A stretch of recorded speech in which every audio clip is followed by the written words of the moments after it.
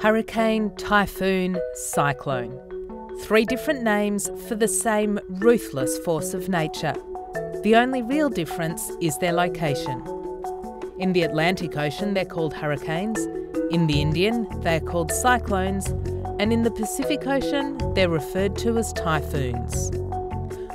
When strong clusters of thunderstorms drift over warm ocean waters, the warm air from the sea begins to rise, creating low pressure areas on the surface of the ocean. Air rises faster to fill this low pressure area, and combined with trade winds spinning in different directions, the storm forms. The balmy climate of tropical regions makes them perfect incubators for these storms.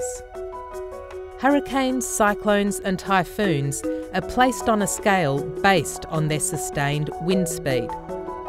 Storms become a level 1 hurricane or cyclone when winds hit 119 kilometres an hour. On land, that means damage to homes and power lines. Level 5 cyclones, with winds measuring more than 252 kilometres an hour, can cause devastating damage if they maintain that force at landfall, like Cyclone Yasi did in Queensland. At almost 1,500 kilometres wide, the storm didn't completely disperse until it had nearly reached Alice Springs, causing $3.6 billion damage. Extraordinarily, no one was killed. The story could have been so different without the early warning systems, shelters, and emergency response personnel. Storms don't even need to be at a Category 5 to cause that damage.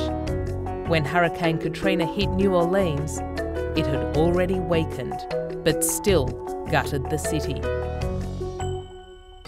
Unfortunately, natural disasters are out of our control. But what we can do is put money aside to ensure there's a piggy bank ready to go in an emergency when funds are needed urgently. Find out more at worldvision.com.au slash emergency prepare.